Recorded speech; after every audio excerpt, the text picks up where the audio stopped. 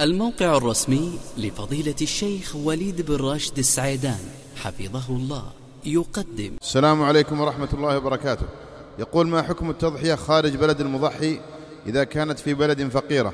الحمد لله الجواب لا بأس ولا حرج في ذلك إن شاء الله عز وجل. لا سيما إذا كان في بلاد إذا كانت الأضحية سوف تذبح في بلاد قد اشتدت حاجة أهلها وعظمت مسغبتهم وحاجتهم وفقرهم.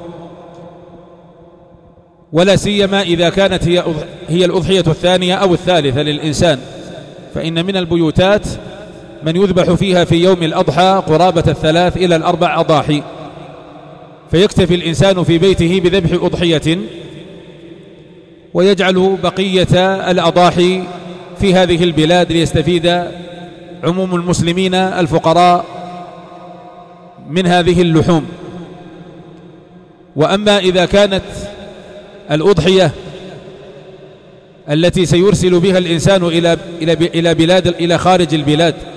هي الأضحية الوحيدة التي ستذبح في بيته بمعنى أنه إذا أرسل لم يجد أضحية أخرى فلا أرى أنها ترسل. ولا بد من إحيائه لهذه الشعيرة في بيته وبين أهله وفي بلاده.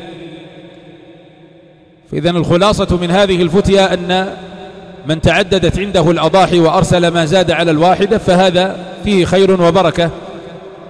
وفيه إغناء لإخوانك المسلمين الذين لا يجدون قطعة اللحم في العام كله.